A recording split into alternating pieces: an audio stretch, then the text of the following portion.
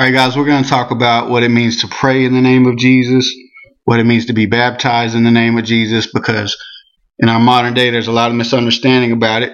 You know, it's it's commonly perceived that if you don't speak the word Jesus when you're praying at the end of your prayer, then you didn't pray in the name of Jesus.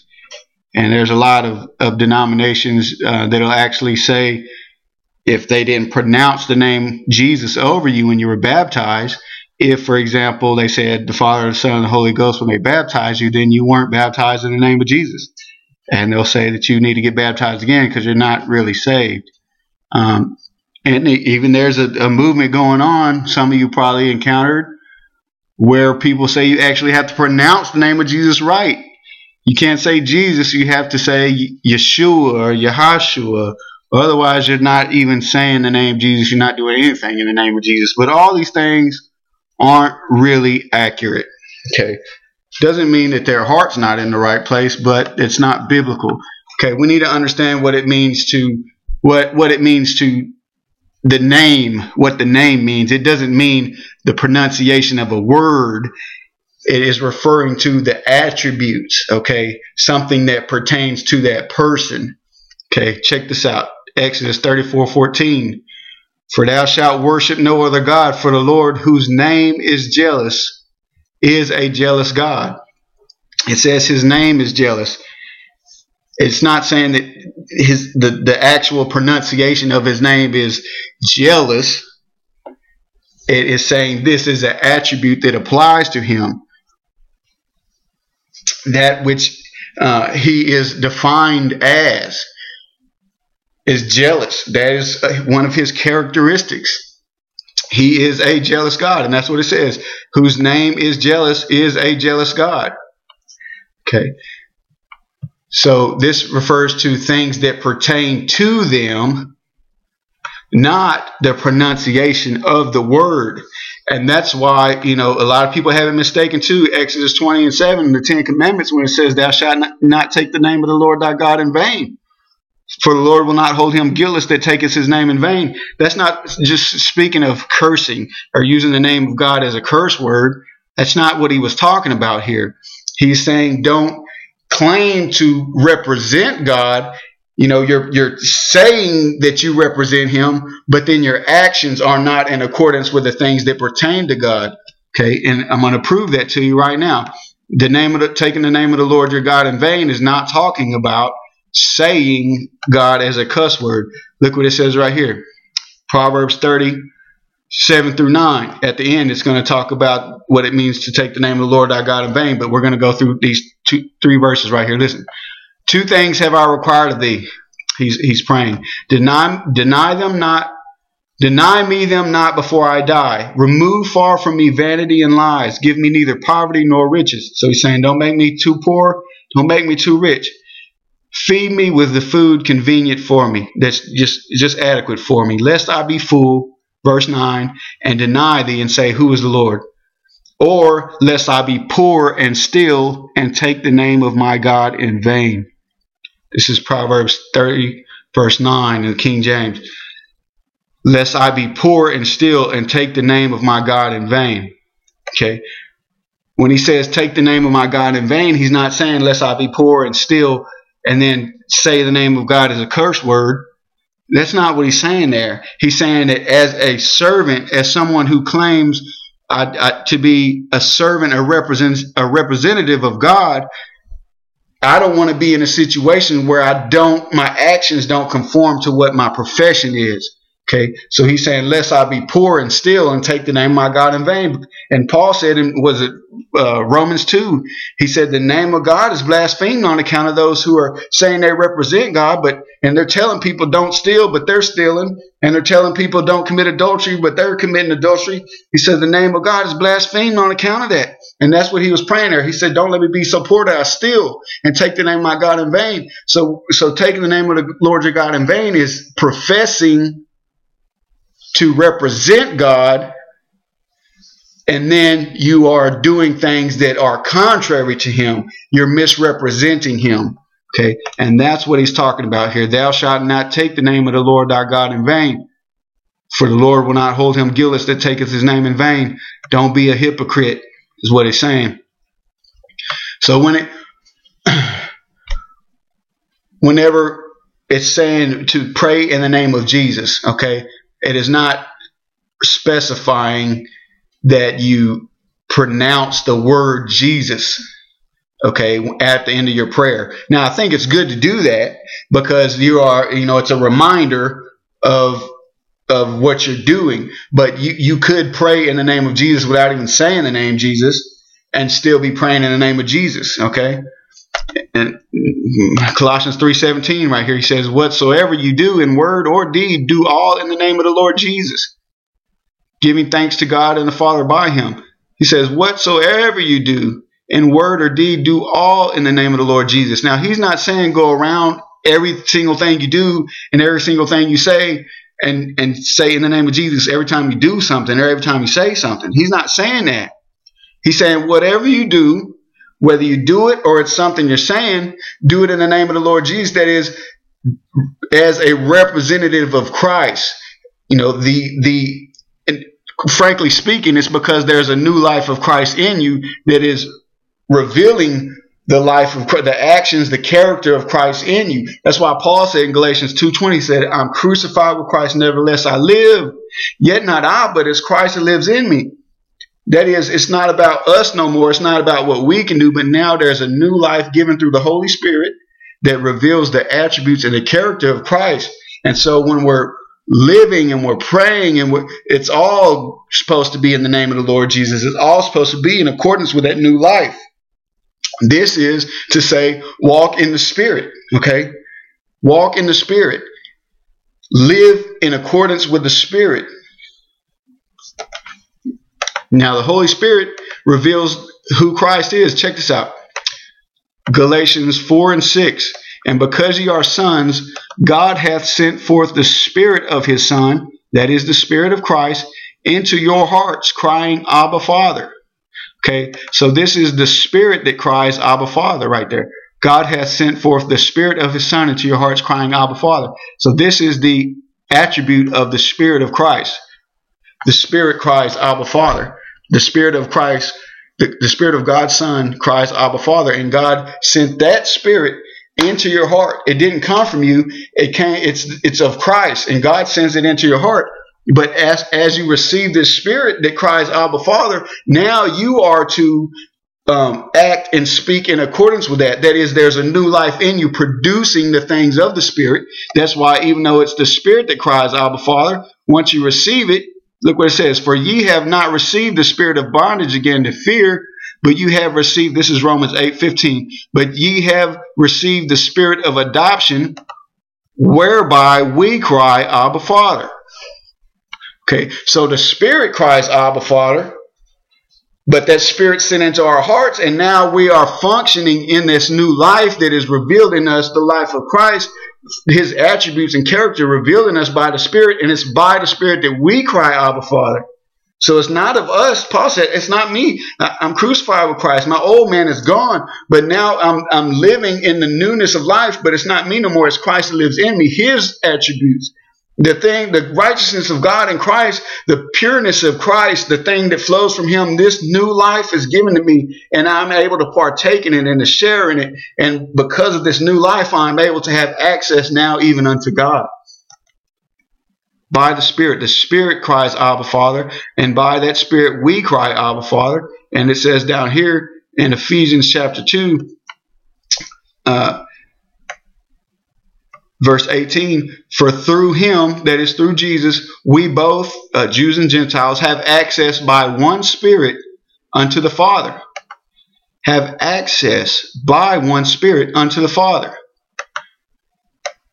you have access by the spirit of christ. Notice that the spirit was crying abba father. That is a petition to god a connection uh, uh, to god. And then by that spirit we partake in that connection to god. That we're able to by the spirit cry abba father. And he hears us. Hallelujah. He hears us. It's by the spirit we have access to god. So it's not just when you're when you for example are crying abba father by the spirit when you when you're praying you say father. That is not of yourself that is the life of christ in you okay that is praying in the name of jesus You could say, you could pray, Father, and and say what's on your what's in your heart to say by the Spirit because you're you're meshed together with the Spirit, and that's praying in the name of Jesus. I'm gonna show that to you right here. Let's see, might have to look it up. No, it's right here. Okay.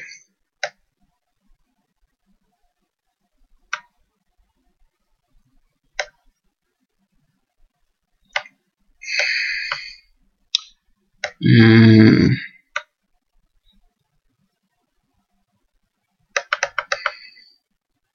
All right, here. I didn't. Uh, I think I got it. All. Okay, Romans eight twenty five.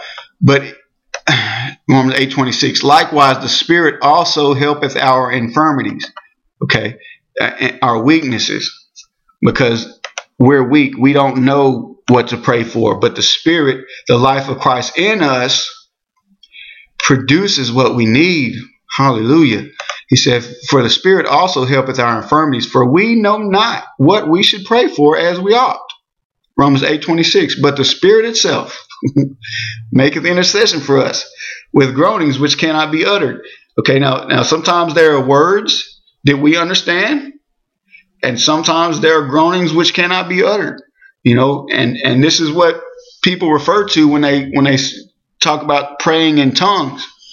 Okay. Now I know that's controversial, and you know I don't believe you have to pray in tongues or speak in tongues to be saved. So I'm, I'm not condemning here, but I, I want to convey what praying in tongues is referring to. It is not just speaking a bunch of gibberish, but it is we don't know always what we should pray for, but, but the Spirit gives us unction to speak, even though our understanding is not able to perceive it. Okay, but the Spirit gives us that what we should pray for. Man, it comes out in a in a prayer language that is not our own. It is the, the language of the Spirit. Okay, check it out. Uh, this is 1 Corinthians 14 2. He that speaketh in an unknown tongue speaketh not unto men, but unto God. Okay, not speaking to men, but unto God. For no man understands him. Okay, remember over here, we know not what we should pray for as we ought. Right here, no man understand him. Okay. Howbeit in the spirit he speaks mysteries. It's not something that, that we understand, but the spirit understands it. And in the spirit we speak mysteries. He that speaketh in an unknown tongue edifieth himself. Okay. Because prayer builds you up and that's what he says later on in, in Jude, for example. But ye beloved, building up yourself on your most holy faith, praying in the Holy Ghost. Okay. But he that prophesieth edifieth the church. For if I pray in an unknown tongue, my spirit prayeth. Okay, my spirit prayeth, but my understanding is unfruitful because I'm not understanding. You know, we don't know what we should pray for, but the Spirit knows, and it intercedes for us with groanings that cannot be expressed. But the Spirit praying still builds us up because there actually there's a prayer language coming out, but it is the words of the Spirit. Okay, and it's a beautiful thing. And he says that builds you up. What is it then? I will pray with the Spirit, and I will pray with an understanding also. Okay, and the things I do comprehend, and in the things I don't comprehend, because my spirit prayeth, but my understanding is unfruitful. He says here, I will pray with the Spirit and I will pray with the understanding also. I will sing with the Spirit and I will sing with the understanding also. Because sometimes there, I'm t- when okay, this is just I'm, I'm explaining what speaking in tongues is.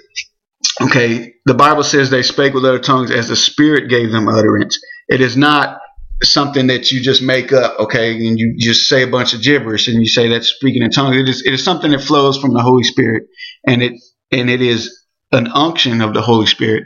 And that's what he's saying here that just as, okay, this is, I'm just trying to explain the best I can, and God help me. But just as the Spirit cries, Abba, Father, this, these are words that pertain to the Spirit, but now receiving the Spirit, we cry, Abba, Father.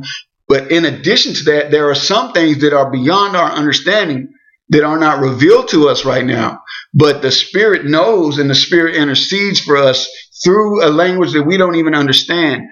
Okay, and that's what it's saying that that in addition to the understanding, because we understand Abba Father, but in addition to that, there is a, a, a prayer language, a praying in an unknown tongue.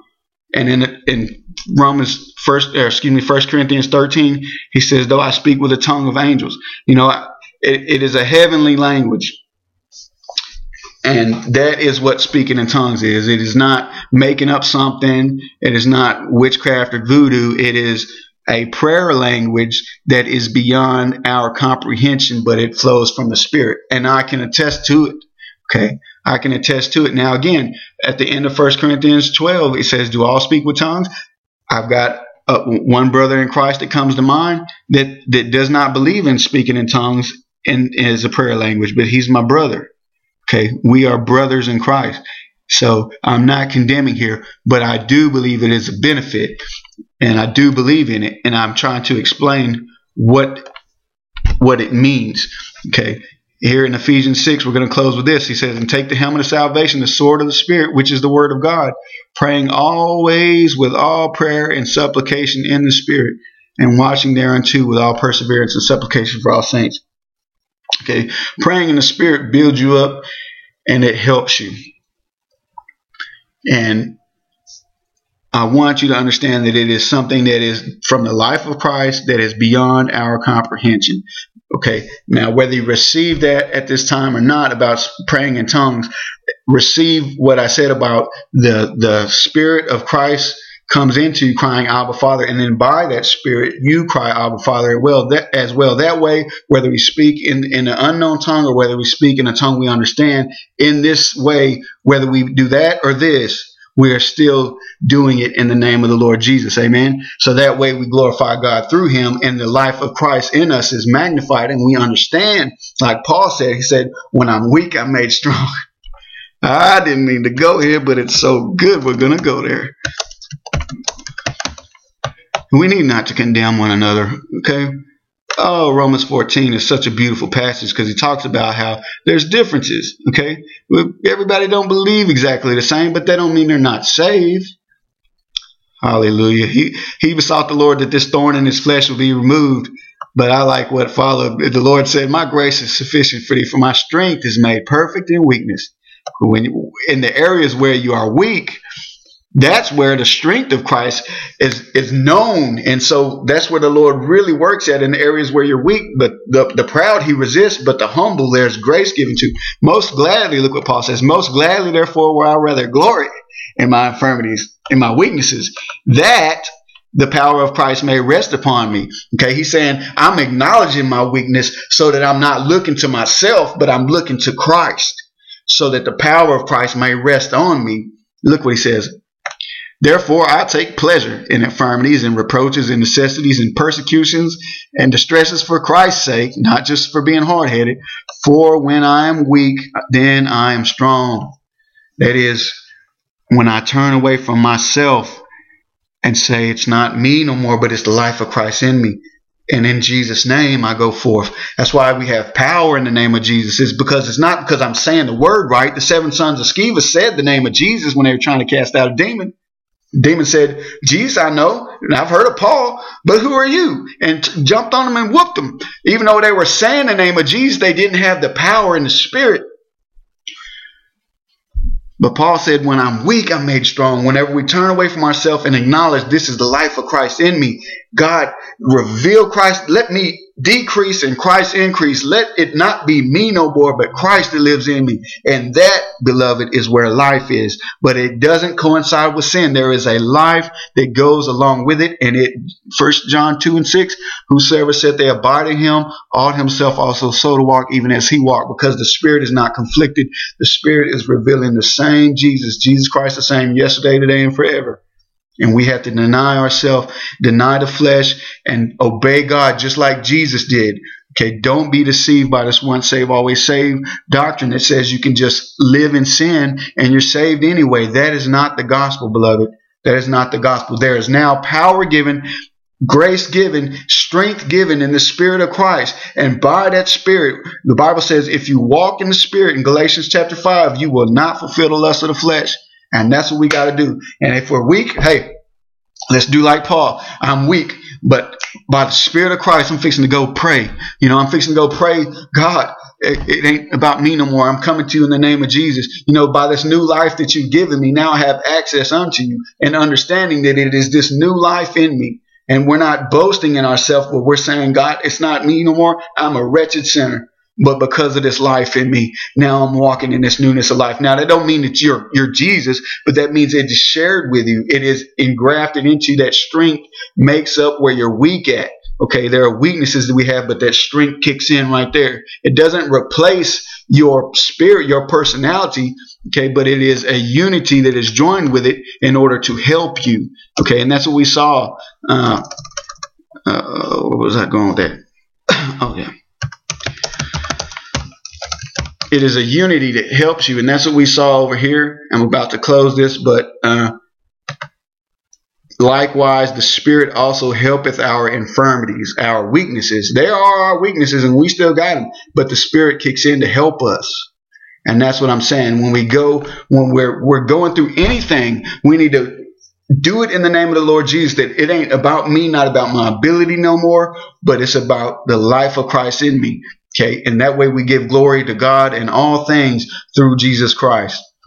Okay, 1 Corinthians 6 17, but he that is joined unto the Lord is one spirit. Okay, unified. Don't mean that, that you are his spirit, but it is a unity there. Okay, and this is in the context of, you know, uh, man and woman being joined together one flesh, but he that is joined unto the Lord is one spirit. There's two, but it's unity.